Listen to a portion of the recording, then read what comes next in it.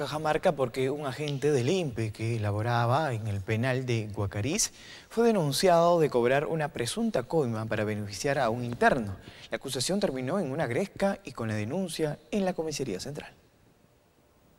En una gresca en el frontis del penal de Guacariz, en Cajamarca, terminó el reclamo de varios familiares a un trabajador del INPE a quien le habrían pagado la suma de 600 soles para evitar que uno de los internos sea castigado y llevado al denominado hueco dentro del penal. Que lo han cobrado 600 soles a mi tío y aparte que lo han cobrado 600 soles en el penal, lo han metido al hueco. Y ya no es primera vez, tenemos este capturas, el celular lo tenemos adentro donde la primera vez nos devolvió los 200 soles tras una transferencia del Banco de la Nación, nos devolvió. Y esta vez ah. el personal del INPE del penal de Guacariz nuevamente les ha cobrado. Nuevamente le ha cobrado a nuestro interno, le ha cobrado 600 soles y nuevamente no se...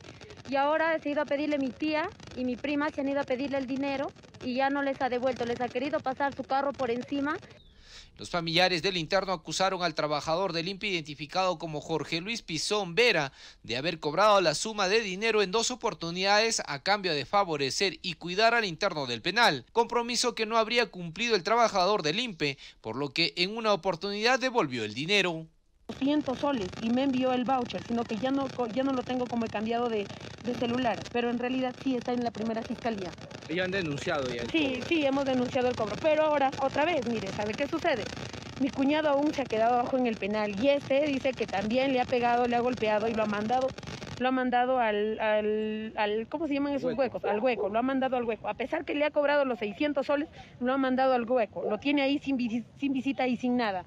Tras la gresca, tanto el trabajador del INPE como los familiares del interno fueron trasladados hasta la Comisaría Central de Cajamarca para continuar con las investigaciones por agresiones, ya que tanto el trabajador del INPE así como los familiares terminaron con lesiones en el cuerpo.